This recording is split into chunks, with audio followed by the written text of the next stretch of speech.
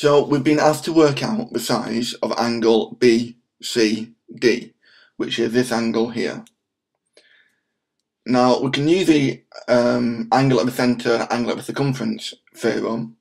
So we can mark off angle at the centre. Now the angle between the tangent and the radius above 90 degrees. So we mark off our radii.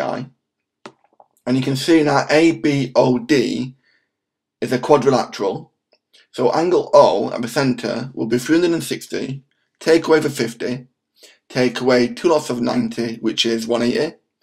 So the angle at the centre comes out as 130 degrees.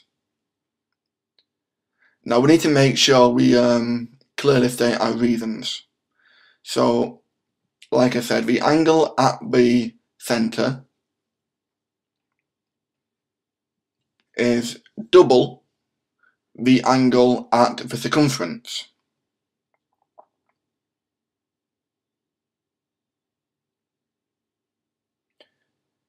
So all we're going to do, angle BCD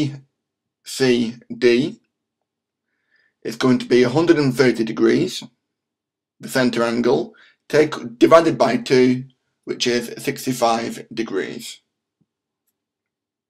Thank you.